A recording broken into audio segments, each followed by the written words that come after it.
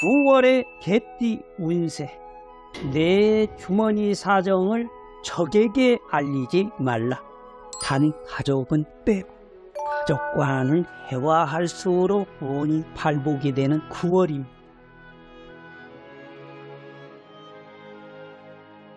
여러분들 안녕하세요. 성남 보은 철학원장 역술가 보은입니다. 오늘은 2024년 양력 9월 개띠 운세를 추역의 계상을 풀어서 나이별로 말씀을 드리도록 하겠습니다. 본 영상에 앞서 구독, 좋아요 한 번씩 꼭 눌러주시고 대신에 복 많이 챙겨가시길 바랍니다. 제일 먼저 1994년 갑술생 개띠는 사람을 만나면 만날수록 발복합니다. 바깥으로 나가서 최대한 많은 사람을 만나셔야 덕을 볼 수 있을 겁니다. 직업적으로 사람을 상대하는 일을 하시는 분은 더할 나위 없이 좋습니다. 그게 성공할 수 있을 겁니다. 직장과 사업운을 보면은 내 기운이 좋기 때문에 상사 뒤에 숨거나 남의 이름을 빌려 일을 진행하는 것보다는 내가 주도적으로 나서는 것이 좋은 결과를 만들 수 있습니다. 이름을 쓰더라도 내 이름을 써야 팀의 성적이 좋을 것입니다. 또한 월성과 질성이 들었으니 어려움이 생기더라도 쉽게 해결할 수 있을 것입니다. 평소에는 혼자 일하시는 분이라도 한 달 동안은 팀으로 움직이시면 훨씬 더 좋은 성과를 이룰 것입니다. 사업하시는 분들은 함께하는 사람들에게 재정적인 지원을 받을 수 있을 겁니다. 투자를 받거나 무상으로 가구를 지원해 준다든가 인력을 보태 준다라든가 할 수 있습니다. 내 역량을 넓히는 데 큰 도움을 줄 테니 기인으로 여겨 보십시오. 기운이 가장 크게 작용하는 것은 애정운입니다. 기존의 연인도 애정이 두터워질 수 있는 운세인데요. 그러나 벌써 결혼하신 분들, 그 중에서도 사람을 많이 상대하고 만나는 직업을 가진 분들은 내 의지와는 달리 저절로 한눈이 팔릴 수 있습니다.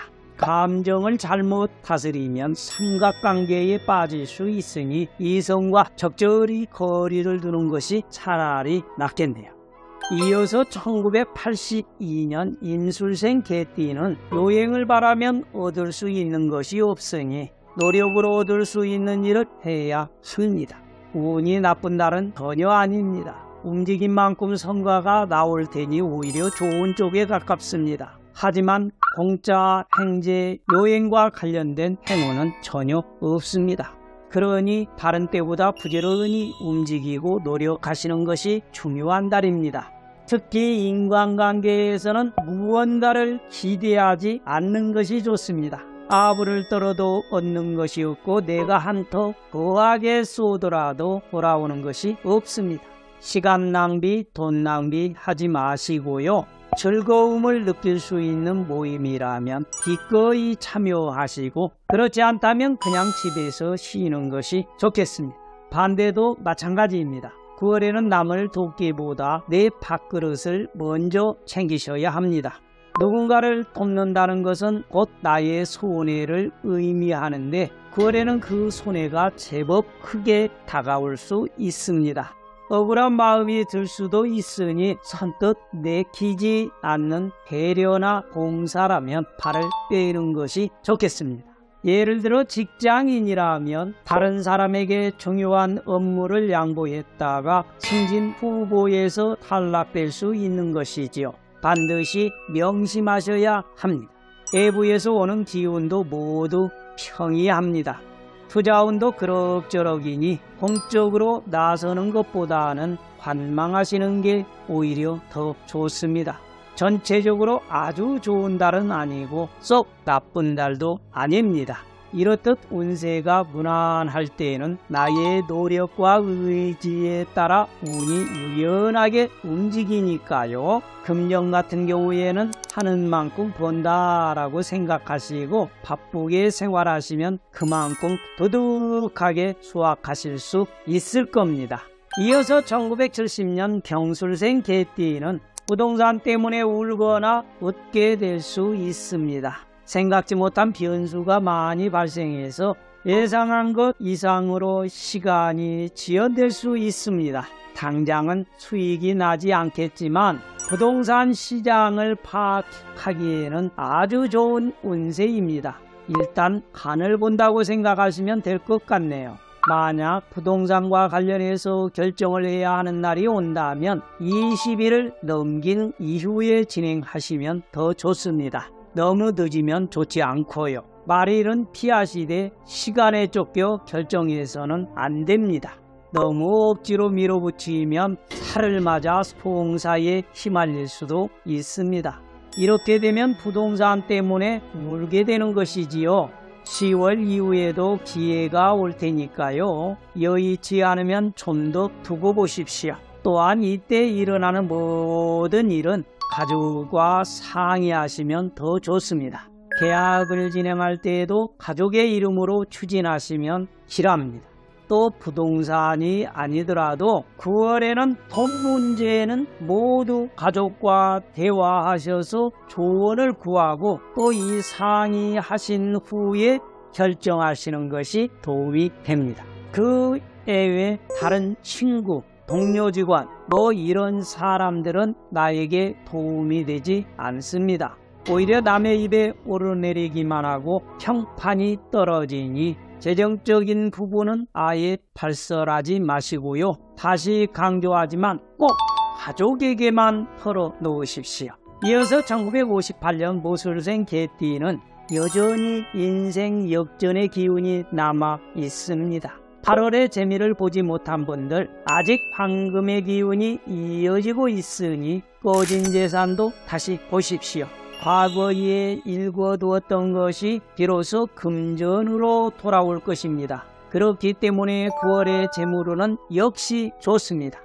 뜻하지 않게 나가는 돈이 생겨서 잠깐 당황할 수 있지만 크게 차질이 생기지는 않습니다. 동요하지 마시고 평소처럼 생활하시면 됩니다.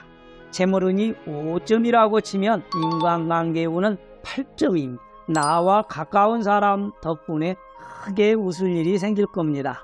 가족일 수도 있고 친척이나 친구일 수도 있는데요. 그 중에서도 특히 친하고 마음이 통하는 사람으로부터 반가운 소식을 듣게 되실 겁니다. 사람 곁에 있으면 힘을 얻게 되는 운세이니 집으로 사람을 초대하는 것도 좋겠습니다. 그러나 한 가지 걱정이 되는 것은 건강운입니다. 가벼운 사고수가 있으니 평소에 하시는 운동도 9월에는 조심하시고 주의를 기울이셔야 하겠습니다. 특히 평소에 운동을 안 하시던 분들 이런 분들이 가장 위험합니다. 갑자기 운동을 해보겠다고 첫날부터 무리했다가 병이 나는 분들이 많습니다. 등산, 수영, 아쿠아로빅 이런 것들이 있지요. 너무 욕심내지 마시고 하나씩 배워간다 생각하십시오. 여하튼 한 달 동안은 가급적 무리한 활동을 피하시고 높은 곳에 올라가는 것도 삼가하시는 게 좋습니다. 여러분들 오늘 9월 개띠 운세를 함께 살펴보았습니다. 여러분들의 생각과 소원 성취해야 할 게 있다 라고 생각되시면 아래 댓글로 공유해 주십시오. 제가 시간이 허락되는 대로 소원 성취를 위해 함께 기도하겠습니다. 어떤 상황에서도 여러분들 희망은 놓지 마십시오. 개띠의 총명하고 지혜로운 성향으로 모든 어려움을 극복할 수 있습니다. 작은 성취도 크게 기뻐하며 자기 자신을 칭찬을 좀 많이 해주십시오. 그리고 자신에게 작은 보상도 잊지 마십시오. 구독과 좋아요, 알림 설정 잊지 마시고요. 저는 더욱 좋은 콘텐츠로 다음 시간에 다시 찾아뵙겠습니다. 감사합니다.